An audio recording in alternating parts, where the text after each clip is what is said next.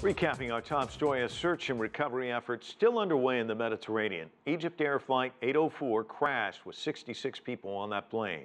It left Paris on the way to Cairo. It disappeared before dawn.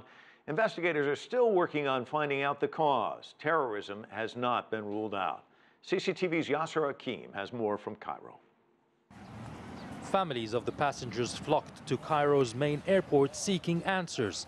But from the start, the outlook was bleak. MS-804 had dropped off the radar just as it entered Egyptian airspace at a height of more than 11 kilometers. There'd been no warning from the crew that anything was wrong. Greek aviation officials said the plane made two sharp turns before plunging into the sea. The last contact we had with the plane from the control tower was at about 2.30 in the morning and after that the plane disappeared from radar. At about 2.50 am there were attempts to contact the plane but it was then confirmed that we couldn't reach it.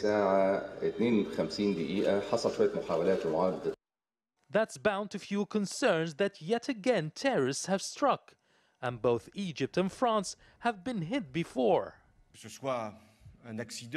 As soon as we find out the truth, we should be able to come to a conclusion, be it an accident or another theory which each of us may be thinking that could be a terrorist theory.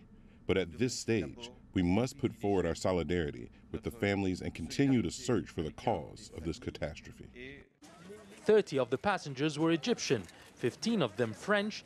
The remainder included people from Chad, Sudan, and Algeria. A joint maritime operation is now underway to hunt for what's left of the plane. Yasser Hakim for CCTV, Cairo.